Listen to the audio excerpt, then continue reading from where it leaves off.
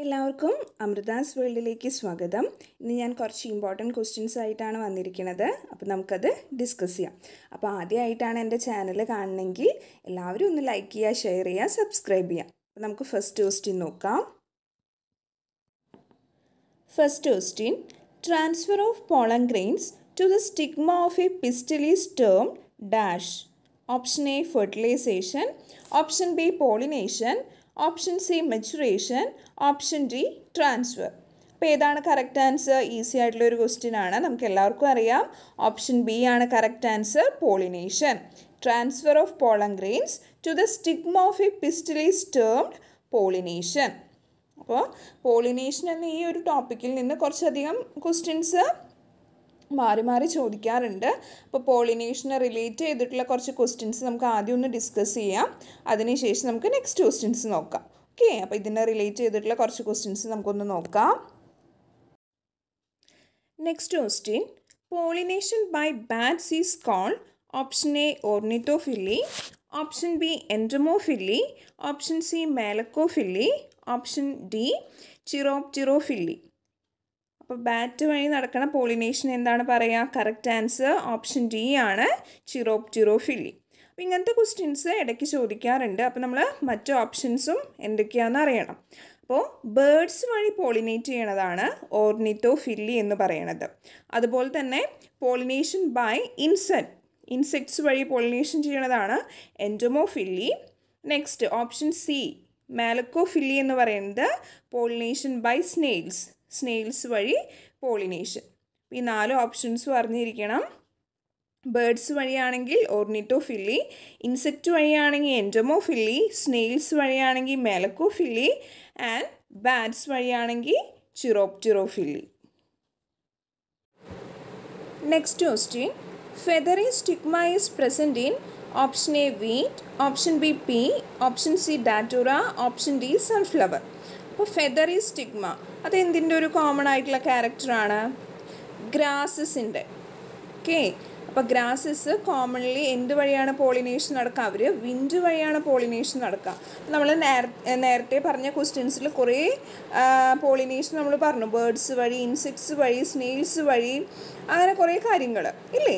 അപ്പോൾ വിൻഡ് വഴി പോളിനേഷൻ നടക്കണേന് നമ്മൾ എനിമോഫില്ലി എന്നാണ് പറയണത്.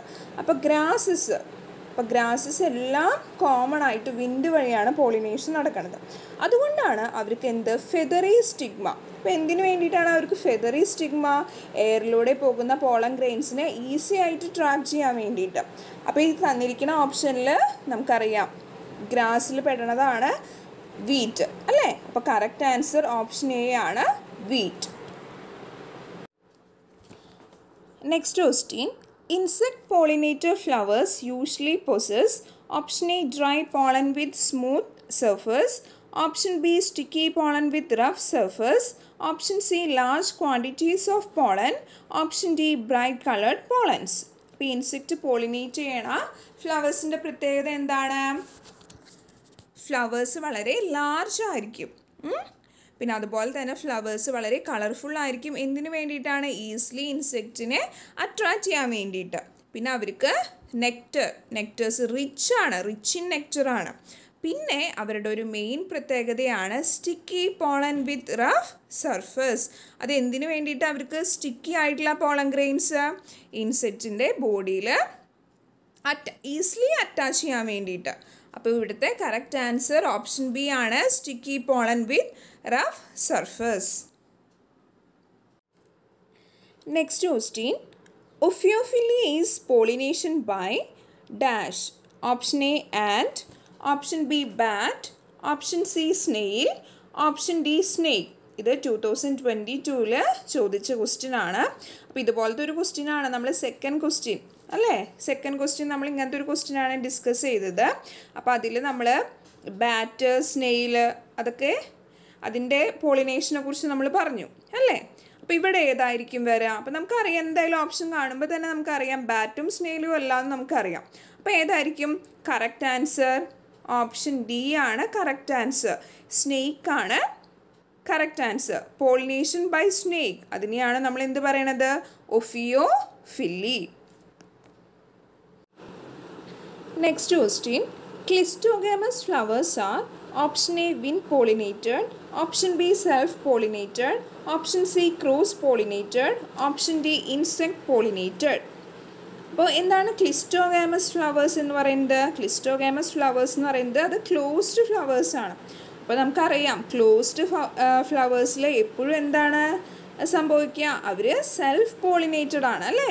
അവർ മറ്റുള്ള പോളിനേറ്റേഴ്സിനെ ഒന്നും ഡിപ്പെൻഡ് ചെയ്യണില്ല. ക്ലോസ് ആയിരിക്കണ കാരണം തന്നെ അവർ സെൽഫ് പോളിനേഷൻ ആണ് അവിടെ സംഭവിക്കുന്നത് അപ്പോൾ ഇവിടുത്തെ കറക്റ്റ് ആൻസർ എന്ന് പറയുന്നത് ഓപ്ഷൻ ബി ആണ് self pollinated next question study of pollen grains is called option A andrology option B palynology option C pomology option D microbiology വളരെ ഈസി ആയിട്ടുള്ള ഒരു ക്വസ്റ്റ്യൻ ആണ് അല്ലേ? ഏതാണ് കറക്റ്റ് ആൻസർ ഓപ്ഷൻ ബി ആണ് correct answer palynology study of pollen grains is called palynology നമുക്ക് next question നോക്കാം.